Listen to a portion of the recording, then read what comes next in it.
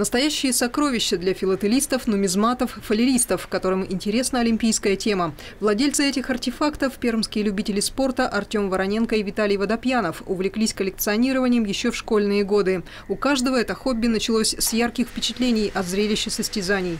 Самая первая для меня Олимпиада была Олимпиада 96 -го года в Атланте.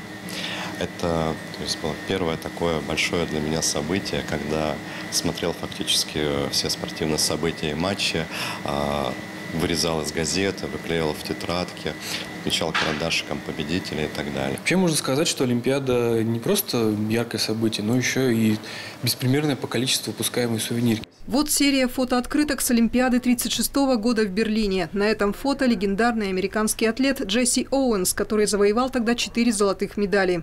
А эти исторические трофеи тоже из Германии, только уже послевоенной. К Олимпиаде в Мюнхене была выпущена серия монет с надписью «Игры 72 года в Германии», но по правилам в тексте должен быть указан город, а не страна. Ошибку поспешили исправить.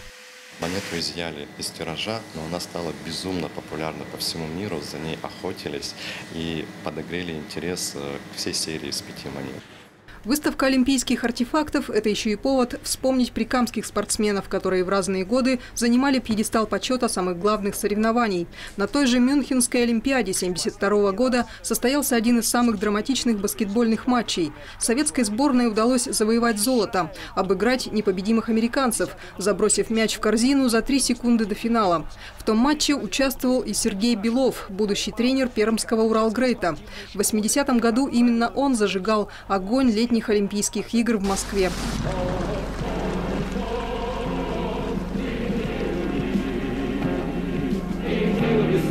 Еще одно золотое имя – Ольга Брызгина. Легкоатлетка родом из Краснокамска стала трехкратной олимпийской чемпионкой в Сеуле и Барселоне в одной из самых сложных беговых дисциплин – дистанции в 400 метров.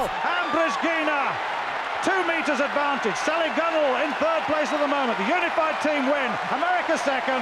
And Sally Gunnell... Олимпийские сувениры словно напоминание о накале спортивных страстей. Совсем скоро им предстоит разгореться вновь. Выставка артефактов в ресторане «Партизан» будет работать все время, пока идет Олимпиада в Рио-де-Жанейро. Юлия Языкова, Александр Худяков, телевизионная служба новостей.